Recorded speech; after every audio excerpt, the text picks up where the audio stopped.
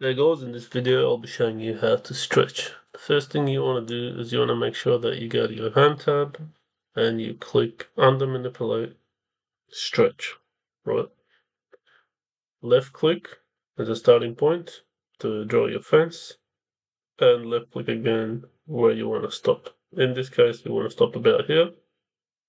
Now once you've set your fence, left click a reference point, in this case I'll pick this angle I'll left click it, right?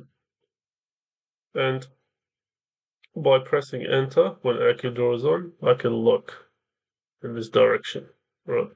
And I can type the value that I want to stretch this element by. In this case, I would like to stretch it by, let's say, one meter. So I type in one, I press enter, left click, and I just stretched it by one meter. Now, let's say that I would like to stretch a different area.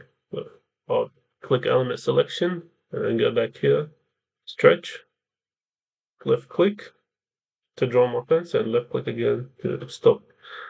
Where I want to stop, and now I'll select a particular angle, I'll select this angle here, left click it, alright, press enter to lock in my AccuDraw, and I'll press the value that I would like to stretch it by, in this case I would like 0.5. Left click, and just like that. That's how you stretch.